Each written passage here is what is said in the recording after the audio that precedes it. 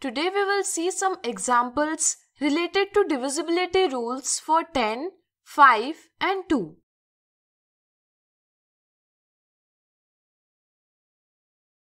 Nisha assumed a number in her mind. She divided it by 2. On dividing, the remainder was 1.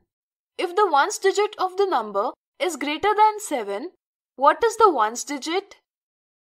Suppose Nisha took the number p in her mind.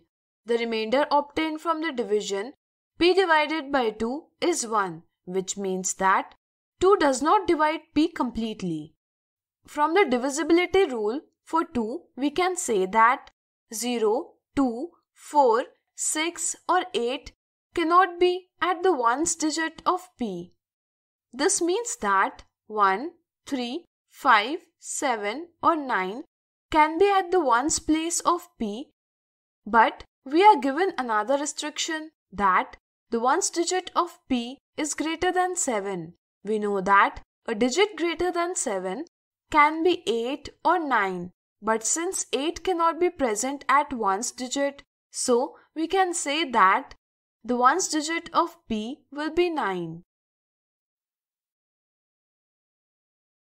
Next example is the number 13x5 divisible by 2, 5 and 10 if x is a digit? The divisibility rule for 2 tells us that if the digit at ones place of a number is 0, 2, 4, 6 or 8, then the number is divisible by 2.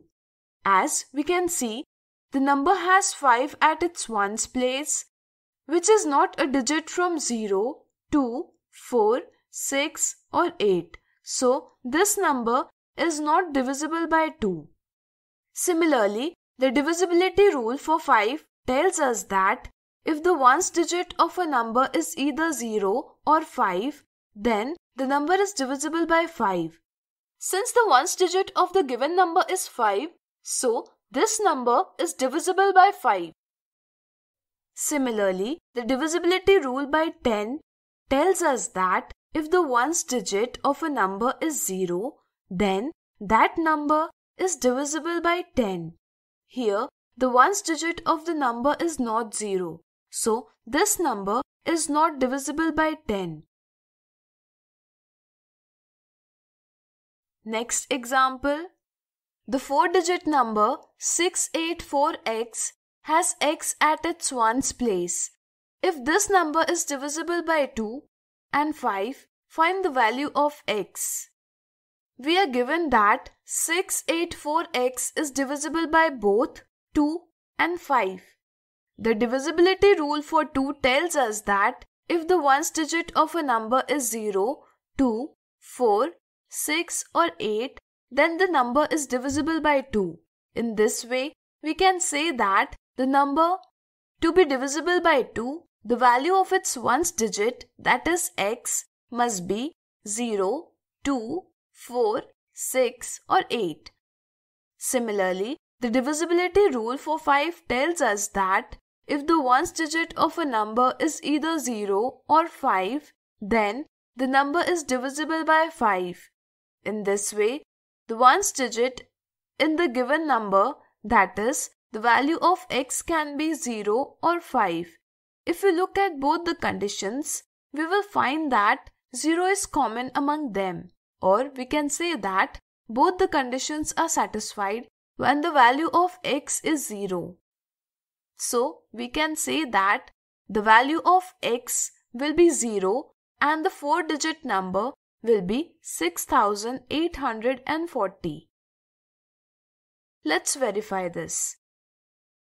If we divide 6840 by 2, the quotient is 3420 and the remainder is 0. Similarly, if we divide 6840 by 5, the quotient is 1368 and the remainder is 0.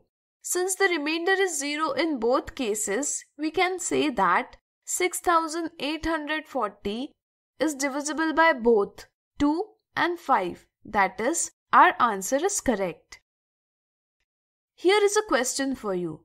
If a number is divisible by 2 and 5, is it divisible by 10?